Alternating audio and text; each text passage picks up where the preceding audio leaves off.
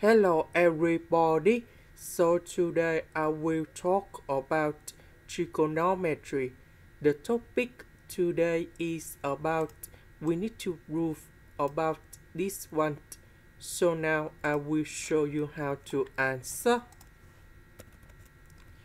About secant of s to the power of 2, we have the formula in here. Secant of s equals to 1 over cosine s. Now, I will put this one gone here.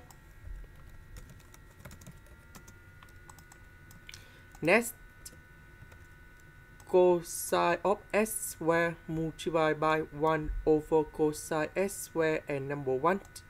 So we have 1 minus cosine s square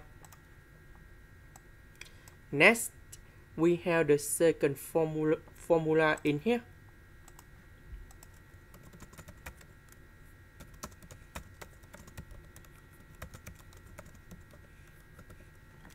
Now,